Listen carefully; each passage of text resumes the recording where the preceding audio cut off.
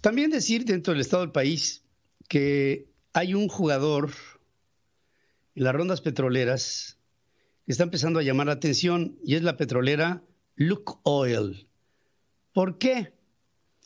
Porque es una petrolera rusa que comenzó la perforación de un primer pozo en el bloque 12 que ganó en territorio mexicano en el 2017 en aguas someras de las costas del sureste del Golfo de México.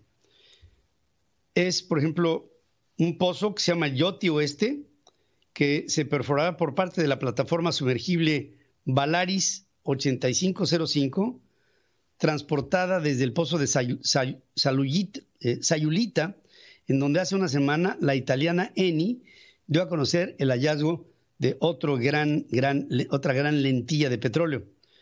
Por supuesto que el presidente López Obrador tiene críticas para petroleras como la española Repsol o, Iberdrola. Ataca a la alemana Talos Energy, pero me voy a fijar en el acento. Vamos a ver si el presidente se mete con Lukoil, que es una empresa que está respaldada por el presidente Vladimir Putin. No es lo mismo que te apoye el presidente Pedro Sánchez o para el caso Angela Merkel, a que te apoye Vladimir Putin. Yo estoy así, pongo las manos al fuego y juro que el presidente de México no se va a meter con esa petrolera rusa.